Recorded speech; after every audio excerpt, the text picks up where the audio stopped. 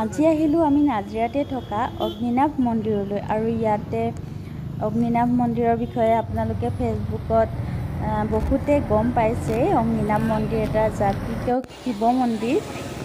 এই মন্দিৰৰ পৰা বহুতো ভক্তই ফল পাইছে আৰু আমিও সেয়ে আহিলোঁ বাবাৰ আশীষ লওঁ বুলি। আৰু আজি সৈতে আমি তিনিদিন আহিলোঁ যদিও আগতে চাকি জ্বলাই থৈ গৈছোঁ কিন্তু শিখা বাইদেউক লগ কৰিব পৰা নাই বেছি মানুহ হোৱাৰ বাবে।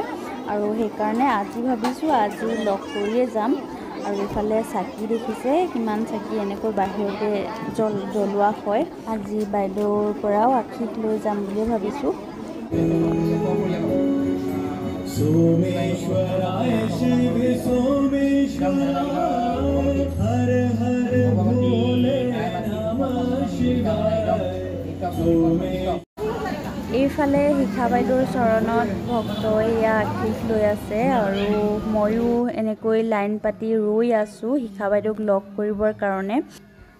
এতিয়া বহু সংখ্যক ভক্ত কমিলে বহুত সময়ো হ'ল আৰু আমি এনেকৈ ৰৈ আছোঁ লাইনত শিখা বাইদেউৰ আশীষ ল'বৰ বাবে। আহিছোঁ যেতিয়া শিখা বাইদেউৰ আশীষ লৈ যাম বুলি ৰৈ আছোঁ আৰু এইফালে ইয়াতে মানে শৰাই দিব বিচাৰিলে ইয়াতে নাম লিখাব লাগিব। আৰু এইফালে শিখা বাইদেৱে আশীষ দি আছে। বাইদেউক এক বিশেষ শক্তি অগ্নিনাভ বাবাই প্ৰদান কৰিছে যাৰ বাবে শিখা বাইদেউৰ পৰা আশীষ ল'বৰ কাৰণে বহু ভক্ত ৰৈ থাকে। আমি এতিয়া শৰাই আগবঢ়াই আহিলোঁ আৰু এইফালে প্ৰসাদ খাই লওঁ।